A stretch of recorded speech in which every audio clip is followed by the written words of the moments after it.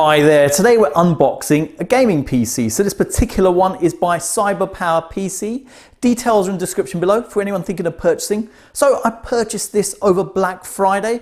Thought it would complete my gaming setup. So I've got some consoles already and this would be a nice addition and also use it as a workstation as well. The spec of the PC is it's an i7 9700F, has a processor running at 3 gigahertz, Graphics card wise, has an NVIDIA GeForce GTX 1660 with 6 gig of RAM on there.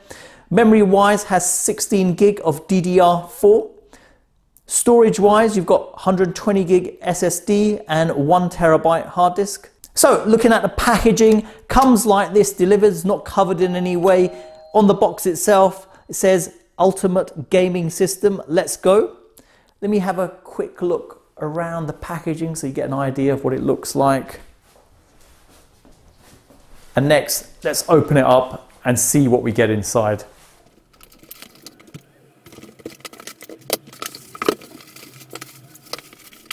Okay, so I've laid out everything you get in a packaging. First of all, you've got the actual gaming PC. You've got two cards there. One important information when you first receive this product and the next is something to do with a gift voucher.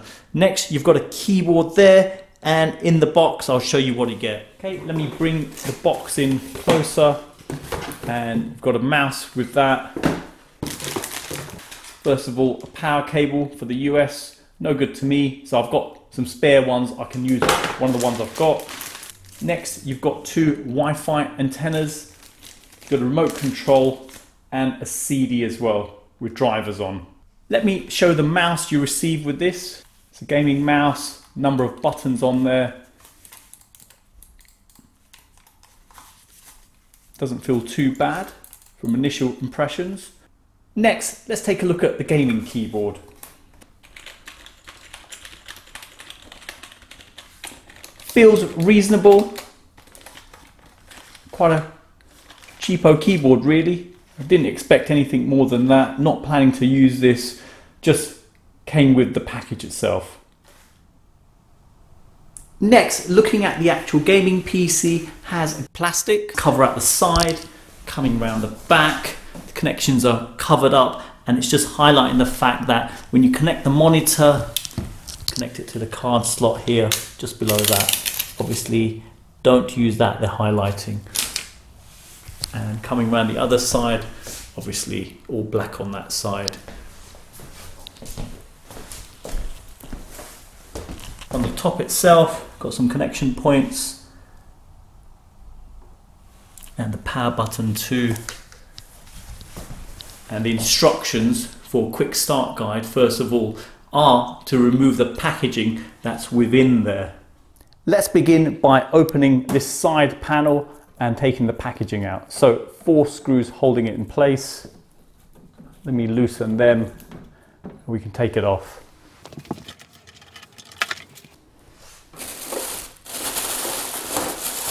There's the packaging. Chuck that away. And what it recommends in there is just checking some of the cables and just ensuring they haven't come out. So I'll have a quick inspection inside and then I'll show you inside. Okay, I've had a quick check inside and the cables seem fine to me. So let me just quickly show you inside. Motherboard's obviously at the back. You've got the processor here. RAM is just there. Coming around here, graphics card, and just underneath this area, you've got the hard disks. Some additional fans here. So three there and one there. Should all be LED if you are planning to use Wi-Fi with this PC, then you can just connect the Wi-Fi antennas on there. So just screws straight on and then you can just adjust it into the position you want, like so. Same with the second one.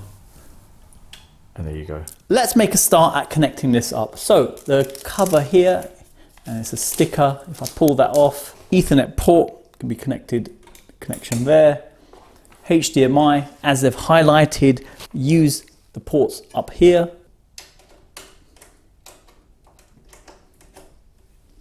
Then we can plug in power down here And also I've got the connectors for my wireless keyboard and mouse. There you go. I'll connect the power up and then I'll turn it around and you can see what it's like powered on. Okay, so I've repositioned the PC and let's power it on.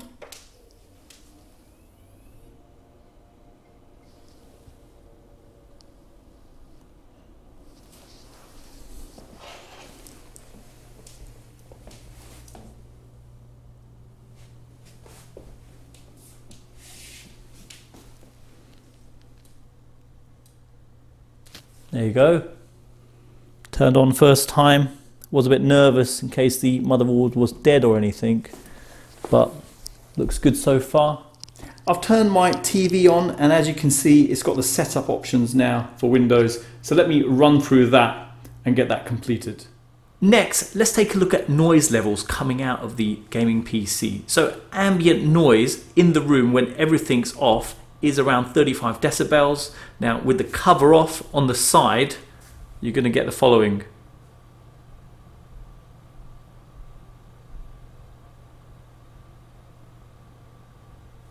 So between 44 and 45 decibels. Next, let's check out noise levels with the cover on the side. So if I go quiet for a moment, So 43.9 decibels, so not too bad. The front and the side of the computer has a plastic sheet on there, so we can take that off now.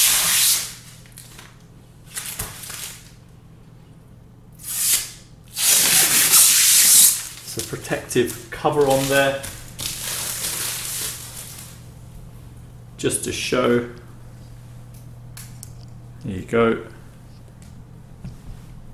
Next, I can show the remote that comes with this. So there's a selection of colors on there. If I run through them,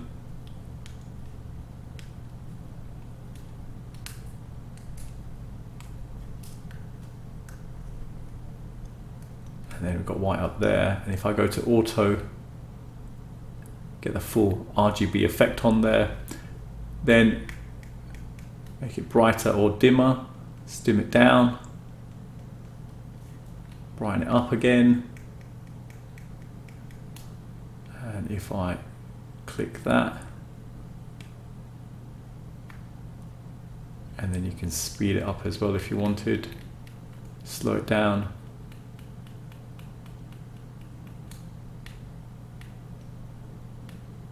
And that's the different effects on there.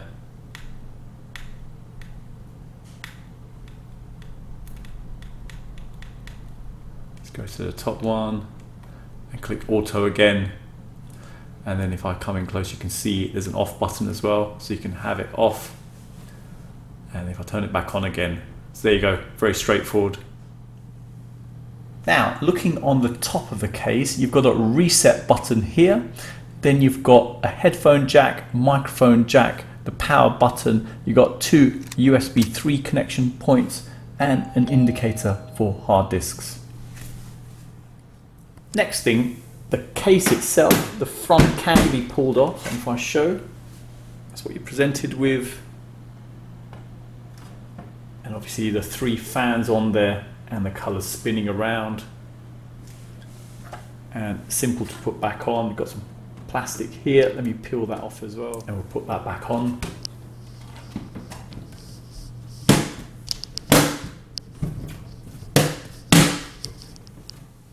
For our next test, what we're going to do, we're going to test out boot up time. So we're going to boot up the PC, we're going to log in, open up a web browser and do a search for the word news and see how quickly that happens. So let's start up now. We can log in now. Go to a web browser, type in news, anything, just click it, yeah. There you go. So about 26 and a half seconds. So performance wise, pretty good. Next, let's run a benchmark on the PC. So if I run OpenGL, so this is a graphics card test, and let's give it a moment to complete.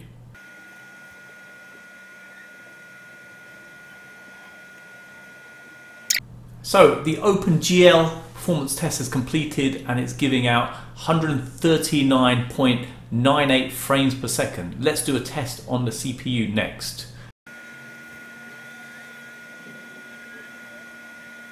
CPU test is completed now and it's come in at 1226 CB and looking at the ranking here it's come in second place pretty high result there from what you can see and if we go back to the OpenGL one you can see the graphic cards performed really well at that value. So performance wise very good. For our next test we're going to stream a YouTube video running at 4K so this is from our travels channel. And just to show running off YouTube if I go here in the settings you can see it's running at the highest resolution there there you go works very well and not surprisingly obviously performance of the machine is really good hence it's not going to struggle with something like this next I'm going to be testing out Fortnite with this PC so First of all, display settings wise, we're on 4K and performance is not very good. So we're getting 18 frames per second. Let's move around a bit, give a bit of activity. 16 to 18, so not really impressive under those conditions. Now, if I come into settings and we change it now, let's flip over to 1080p. So if I now apply those settings. We'll keep them. So you say yes to that and go back. And that's better. So under 4K, you get about 18 frames per second. And under 1080p Full HD, you get around 100 frames per second. So more usable, definitely, under 1080p. I'm a little bit surprised by that. I thought it may be able to cope, but I guess it can't.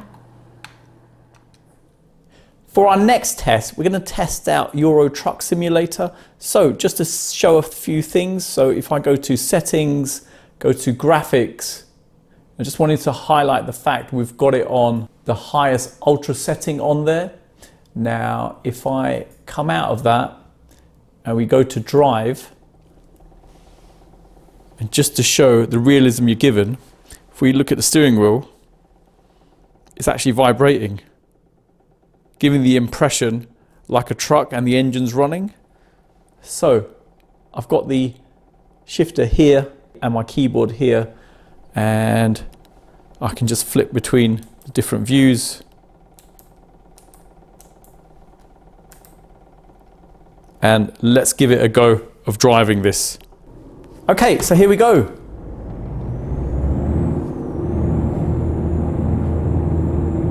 Feels very good. The fact that it's even vibrating, I think that just gives that extra realism to it.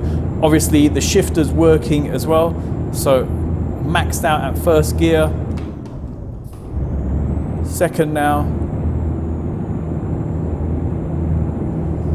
Flip the views.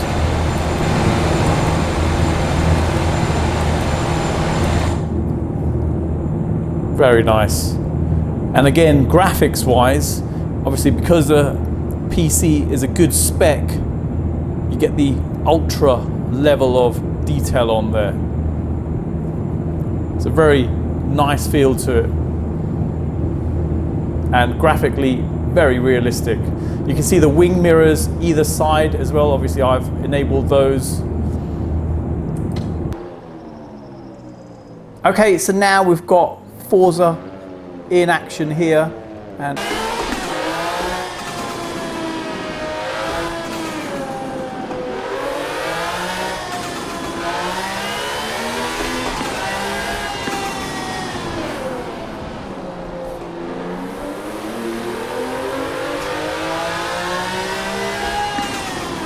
performance wise with the PC it's very good doesn't seem to be struggling in any way. And immersive feel feels very good. Obviously with the steering wheel shifter and the pedals give that realistic effect to it. Next just to give a closer look at the PC connection points and the lights running on there together with the fans. Put a light shining onto the inside of it just to give you a clear idea components inside. Very nice and tidy. Ample space in there as well. Build quality wise, it does seem quite good. Okay, so you've seen the unboxing and setup of this gaming PC from CyberPower PC. Comes in under the thousand pound mark. Performance wise, I think it's pretty good for your money. In terms of looks, looks great. A couple of things to note, obviously doesn't have a card reader on there or a DVD-ROM or CD-ROM on there. I was aware of that, just obviously I'm highlighting that in case you didn't notice. But I think you've got good value here from what you're getting and great performance. So there you go. Hope it's helped anyone thinking of purchasing this. Details are in the description below. Thanks for viewing and don't forget to like, comment and subscribe.